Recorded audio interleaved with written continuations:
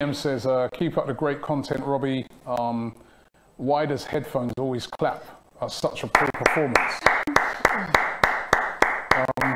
One thing about Ty, he's going to clap until we go Says, home. uh, Lee, once again, the voice of reason and the wise man. Watch AFTV just for him. Big up Robbie and um, the work for this cancer charity. Yep.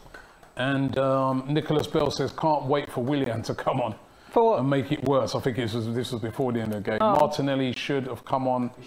Um, Saka's played a lot and he looked a bit tired. I, I don't know why we didn't bring, you know, uh, it's frustrating because, you know, to me, I'm looking, yeah, stop clapping now for me Thank as well. you, thank It's you. getting annoying. I'm glad someone's moderating it's up in getting here. annoying. You're going to get a size 11 Let's boot in your head again. yeah, I mean, because I, 'cause I, I, I agree with the guy. We've lost Say the game. no and to you're violence. What are you clapping for? We lost. Any time I so I can't clap for the team. They've lost. Yeah, but you've They clapped for should the win. team. They- They, should only win. They, they It's ain't even on the pitch win. no more. But it's only when they win then. We- I should clap for them. So if they won, it won, it would be all right then. No, you clapped already though, didn't you? You clapped for like two minutes, fam. Right. Um, Josh says, uh, never knew it was Ski Sunday.